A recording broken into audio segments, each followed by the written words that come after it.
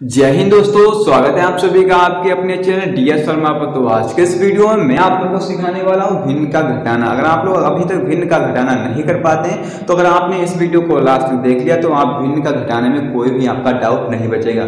इस वीडियो में मैं आप लोगों को बताने वाला हूँ जिसके हर समान है, उसको हम कैसे करेंगे?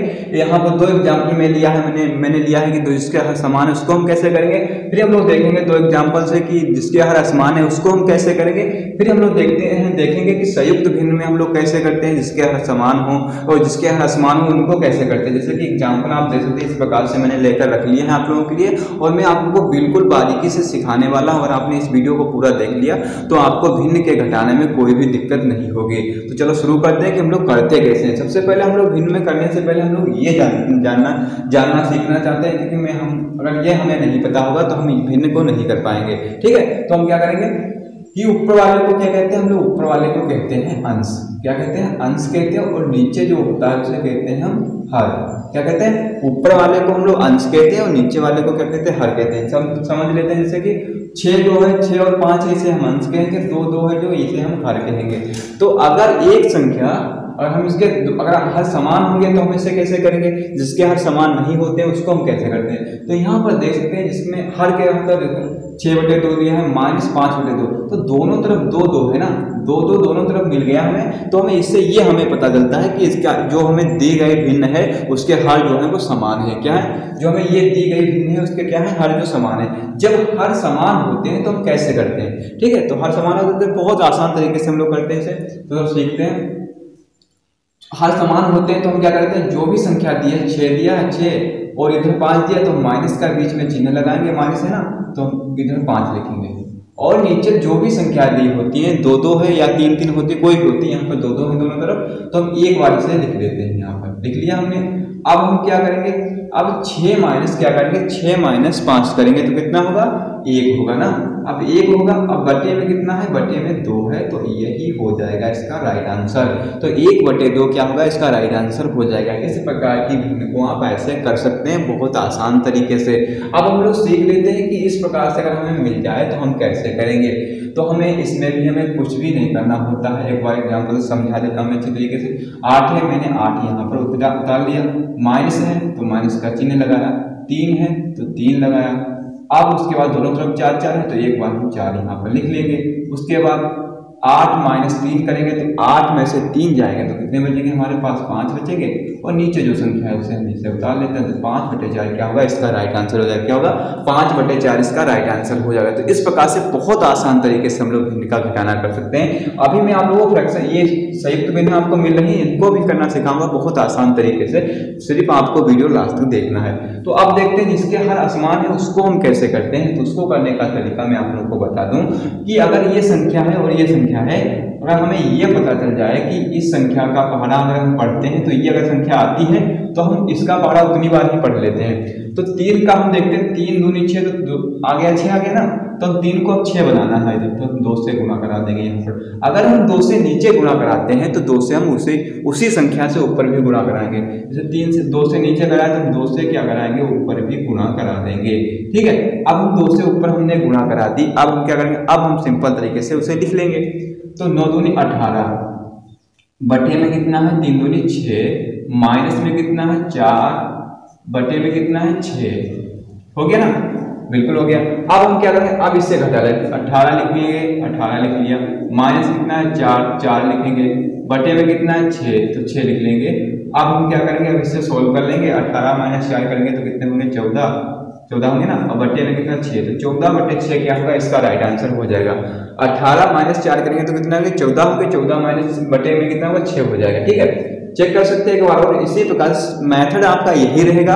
आपको कोई भी भिन्न आपको मिल जाए, इससे बड़ी बड़ी मिल जाए या इससे छोटी मिल जाए, आप बहुत आसान तरीके से कर सकते हैं। इसी मेथड को फॉलो करके, ठीक है? अब हम लोग देख लेते हैं कि इस प्रकार की अगर आपको भिन्न मिल जाए तो हम कैसे करेंगे? तो इसको कैसे करेंगे? पाँच बटे दो दिया, इधर और इधर दिया, आठ बटे दस। पाँच बटे दो दिया है और आठ बटे दस दिया है तो इसे हम कैसे करेंगे? तो हम क्या करेंगे? इसको देखते हैं, दो का बार हम कितनी बार पढ़ेंगे कि दस हो जाएगा? दो पंचे दस। तो पाँच बार हम पढ़ेंगे तो पाँच से हम क्या करेंगे? यहाँ पर गुणा कराएँगे और पाँच से हम यहाँ पर गुणा करा देंगे। ठीक है? हो गया? अब हम क्या करेंगे? अब हम लिखेंगे पचम पच्चीस बटे में कितना हो गया? पाँच दूनी दस। माइनस कितना है? आठ बटे में कितना है? दस। अब हम क्या करेंगे? तो पच्चीस इधर दिया है, माइनस में आठ दिया है, बटे में कितना दिया है? दस। तो हम क्या करेंगे? पच्चीस में से आठ को घटाएँगे तो हमारे पास कितने बचेंगे? हमारे पास कितने बचेंगे? पच्चीस में से अगर आठ जाएँगे तो ये बचेंगे हमारे पास सत्रह। सत्रह बचेंगे ना? सत्रह आठ कितने होते हैं? पच्चीस। तो सत्रह बटे एक बचेंगे अब सत्रह बटे दस क्या होगा? इसका राइट आंसर हो जाएगा। सत्रह बटे दस क्या होगा? इसका राइट आंसर हो जाएगा। आप चेक कर सकते हैं। सत्रह अगर आठ हम जोड़ेंगे तो पच्चीस हो जाएगा। और सत्रह बटे दस क्या होगा? इसका राइट आंसर हो जाएगा। तो इस प्रकार से हम लोग कर सकते हैं भिन्न का घटाना, जिसके हर आसमान है। अब हम लोग देख सकते हैं संयुक्त भिन्न वाले को हम कैसे करते हैं। संयुक्त भिन्न वाले को कैसे करते हैं? सबसे पहले हम इसे क्या करना है? गुणा कराएँगे। जो संख्या इधर दी है उससे गुणा कराएँगे। और ये जो संख्या है, इसे हम जोड़ देंगे। कैसे करेंगे? अभी बता रहा हूँ मैं आपको। तो तीन त्याग कितना होगा तीन त्याग नौ हो जाएगा और प्लस क्या करेंगे? तीन। तीन त्याग नौ और तीन बारह। क्या करेंगे? इससे इसे तो हम गुणा करा देंगे इसे हम जोड़ देंगे। तीन त्याग नौ और तीन बारह। कितने होते हैं? बारह। तो हम क्या करेंगे? बारह हम यहाँ पर लिख देंगे। नीचे जो संख्या है, उसे हम यहाँ पर लिख लेंगे। तीन दिया तो तीन को लिख लेंगे। इधर क्या करेंगे? इसकी हम गुणा कराएँगे, इसे हम जोड़ देंगे। तो तीन दूनी छः और एक कितना होगा? सात। तो माइनस है। तीन दूनी छः, एक सात बटे तीन। सात बटे तीन हम यहाँ पर लिख देंगे। समझ में आया आपको? हाँ बिल्कुल आया हुआ अब हम क्या करेंगे? अब दिया है, जो बारह दिया है माइनस दिया है सात। क्योंकि ये सिंपल तरीके से अब मैंने बना लिया, इसे सिंपल जैसे हम करते थे, उसी तरीके से हम करेंगे। हर भी इसके समान है। अब क्या करेंगे? हो गया। उसके बाद हम तीन को यहाँ पर उतार देंगे बारह माइनस सात करेंगे तो कितने होंगे? पाँच बटे में तीन है तो ये होगा इसका क्या होगा? राइट आंसर हो जाएगा। क्या होगा? पाँच बटे तीन क्या होगा? इसका राइट आंसर हो जाएगा। तो इस प्रकार से कर सकते हैं। अब हम लोग देख लेते हैं कि इसके जिसके हर आसमान है, संयुक्त भिन्न में उसको कैसे करते हैं? तो हम सबसे पहले करेंगे चार दूनी आठ, एक, नौ। तो नौ बटे दो माइनस चार एकदम चार तीन सात सात बटे तीन। अब हम क्या करेंगे? तो अब हमारे पास सात बटे सॉरी, यहाँ पर क्या है? चार है ना? सात बटे चार, क्योंकि चार एकम चार तीन सात बटे चार, ठीक है? चार है ना? अब हम क्या करेंगे? अब इसका पहाड़ा हम इतनी बार बढ़ेंगे कि चार कितनी बार पढ़ेंगे तो चार दो दूनी चार तो दो से हम नीचे गुणा कराएँगे और हम दो से ही ऊपर भी गुणा करा देंगे। तो क्या करेंगे? नौ दूनी अट्ठारह बटे में कितना होगा? चार माइनस सात बटे में चार। अब हम क्या करेंगे? इसे हम हटा लेते हैं। तो अट्ठारह माइनस सात अपॉन में चार। ठीक है? अब हम क्या करेंगे? देख सकते हैं यहाँ पर। इधर हो सकता है, नहीं दिखे आपको यहाँ पर कर लेते हैं इसे। तो 18 में से हम सात को घटाएँगे तो हमारे पास बचेगा ग्यारह ना? ग्यारह बचेगा। अब ग्यारह बचा है। जब तो ग्यारह बटे हम क्या है? मेरे पास चार है तो हम चार यहाँ पर लिखेंगे। तो ग्यारह बटे चार क्या होगा? इसका राइट आंसर हो जाएगा। तो इस प्रकार से हम लोग तो अब हम लोग सीख लेते हैं कि अगर हमें तीन संख्याएँ मिल जाए, उसका हमें घटाना करना हो भिन्न में तो हम उससे कैसे करते हैं? चलो सीखते हैं। देखते हैं, पहला एग्जांपल हमारी स्क्रीन पर यह रहा, सातवां एग्जांपल क्योंकि छह एग्जांपल हमने सीख चुके हैं। अब देखते हैं सातवां और आठवां, जिसमें अगर इस प्रकार से मिल जाए जिसमें तीन संख्याएँ मिल जाए, उसमें एक के हर समान हो और एक में हर समान नहीं हो तो उसको हम कैसे करेंगे? तो उसको करने का बहुत आसान तरीका है। मैंने सीखा है, क्या सीखा है? हम लोगों ने ये सीखा है कि जब कोई घटाना होता है तो हम क्या करेंगे? जो भी संख्या इधर दो मिल रही इधर दो, इसके दो भी तो हर समान है। तो हम क्या करेंगे? सबसे पहले नाइन माइनस जो दिया है, पाँच दिया है, पाँच लिखेंगे। माइनस में तीन दिया है, तीन लिखेंगे। आप नीचे में जो दिया है, दो दिया है, दो लिखेंगे। अब हम क्या करेंगे? अब इसमें से इसको हम माइनस कर लेते हैं। ठीक है माइनस करेंगे। तो नौ में से अगर हम पाँच को घटाएँगे तो कितने होंगे? चार बचेंगे। चार में से हम तीन को घटाएँगे तो एक बचेगा तो एक बटे क्या होगा? क्या होगा? आपके पास दो होगा। अगर इस प्रकार से अगर नहीं घटा पाता तो इसको समझा देते एक बार। तो नौ में से हम घटाएँगे पाँच को। तो कितने बचेंगे? चार बचेंगे, माइनस तीन बचेगा। ठीक है? एक एक संख्या को हम लोग घटा लेते अगर नहीं घटा पाते अगर आप तो। ठीक है? अब बटे में दो। अब हम क्या करेंगे? अब चार माइनस तीन मतलब एक बटे क्या होगा? एक बटे दो होगा। क्योंकि दो हमारे पास दिया है ना। तो एक बटे हमारे पास दो हो जाएगा। ये हो जाएगा क्या होगा? ये हो जाएगा आपका राइट आंसर क्या हो जाएगा? देख सकते हैं। हमारे पास नौ दिया था, पाँच दिया था, तीन दिया बटे में हमारे पास दिया था दो दो। तो हम कैसे करते थे? इस प्रकार से हमने कर लिया।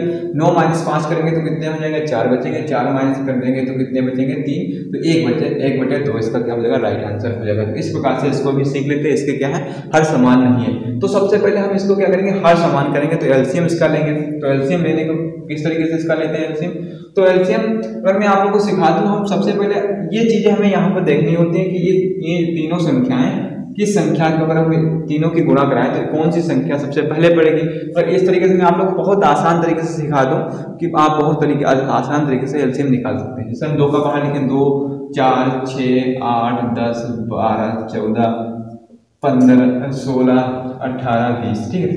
बहुत आसान तरीके से मैं आपको बहुत अच्छी तरीके से निकालना सिखा दूँगा।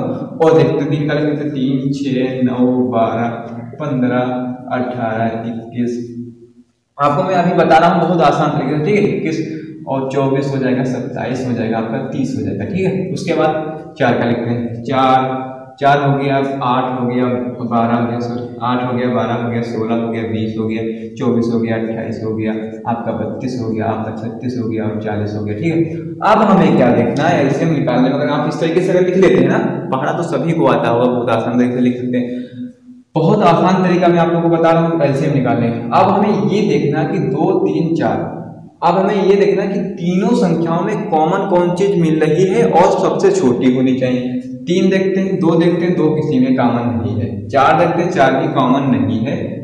छह देखते हैं, छह को किसी में कॉमन नहीं मिल रहा हमें, नहीं मिला इसमें मिल रहा, छह छह मिल रहा है। लेकिन आप देखते हैं कि चार में छह मिला, चार में छह नहीं मिल रहा। ठीक है? नहीं मिला तो इसे छोड़ देते हैं। आठ मिल रहा है। आठ देख सकते हैं, किसी भी संख्या में नहीं मिल रहा है। इसमें बारह, इसमें आठ आठ नहीं मिल रहा है। दस मिल रहा है, दस कहीं पर भी आपको नहीं दिख रहा होगा, तीनों संख्याओं में नहीं। अब बारह देखते हैं। बारह क्या मिल रहा है इसमें? हाँ बारह इसमें भी मिल रहा है, बारह इसमें भी मिल रहा है और बारह कहाँ गया? इसमें भी मिल रहा है, ठीक है? अब तीनों संख्याओं में मिल रहा है और सबसे छोटी संख्या है ना, बारह। इससे पहले कोई भी संख्या में नहीं मिली है कॉमन तीनों में तो यही क्या होगा? यही हो जाएगा, आपका क्या होगा? एल्सियम हो जाएगा। इस प्रकार से हम लोग एल्सियम निकालते हैं, बहुत आसान तरीके से। ये तो मैंने काफ़ी दूर तक लिख लिया था पहाड़ा पूरे लिखने भी नहीं होते। तीन चार पहाड़ा लिखे आराम से आप आ जाएगा लिखना तो हम क्या करेंगे? अब हमें इन संख्याओं को, सभी संख्याओं को बारह बनाना है। तो बारह बनाने के लिए हम क्या करेंगे? इसको कितने से गुणा कराएँगे छह से। अगर नीचे हम छह से कराएँगे तो ऊपर भी हम लोग छह से कराएँगे ये हमने सीख रखा है ये रूल होता है। अब हम क्या करेंगे? अगर इसको कराएँगे तो कितनी? चार दिए हैं। चार से कराएँगे तो ऊपर भी हम लोग क्या करेंगे? चार से कराएँगे इसे तीन से कराएँगे तो ऊपर भी हम लोग तीन से कराएँगे ठीक है? समझ में आया? बिल्कुल आया। अब हम लोग लिख लेते हैं। तो अब हम लोग क्या करेंगे? आठ अड़तालीस अड़तालीस बटे में कितना होगा? छः दूनी बारह। बारह माइनस में आया है। अब लिखना चार चक सोलह बटे में कितना होगा? बारह। माइनस में तीन दूनी छः बटे में बारह। ठीक है? ये हो गया? सिंपल हो गया ना? अब हर समान हो गया अब हम क्या करेंगे? अड़तालीस माइनस सोलह माइनस छः अपॉन में बारह। ठीक है? अब हम करेंगे, अड़तालीस में से हम सोलह को बटाएँगे तो कितना होगा? बत्तीस ना? बत्तीस माइनस छः बटे में बारह। क्योंकि सोलते हैं, अड़तालीस होता सोलह चलेंगे तो बत्तीस बचेगा ना। अब बत्तीस वो बच्चा है तो अब हम क्या करेंगे? इसे घटा देंगे। और आप लोग नहीं घटा पाते हैं यहीं पर घट जाता है तो अड़तालीस माइनस सोलह, बत्तीस होगा, बत्तीस में से छः को हम घटाएँगे तो कितने बचेंगे? छब्बीस बचेंगे ना।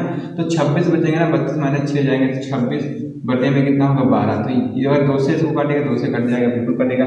तो दो छंग बारह और ये कट जाएगा, दो एक कम दो दो तीन छः तो ये हो जाएगा आपका आंसर आ जाएगा तेरह बटे में, क्या होगा? छः तेरह बटे में अगर ये कट रहा है तो उसे काट दीजिएगा नहीं कटा है तो इसे मत काटिएगा तो आई होप कि आप लोगों को ये वीडियो अच्छा लगा और आप लोगों को ये वीडियो अच्छा लगा तो लाइक एंड सब्सक्राइब ज़रूर कीजिएगा। इसी प्रकार से मैथ का बिल्कुल बेसिक सीखने के लिए वीडियो को आप लोग लास्ट देखा कीजिए, और हमारे चैनल पर जा सकते हैं। वहाँ प्लेलिस्ट बनी है, वहाँ से सीख करके आप मैथ बहुत अच्छी तरीके से सीख सकते हैं। हेलो दोस्तों, कि आप लोगों को वीडियो अच्छा लगा तो लाइक एंड सब्सक्राइब ज़रूर कीजिएगा।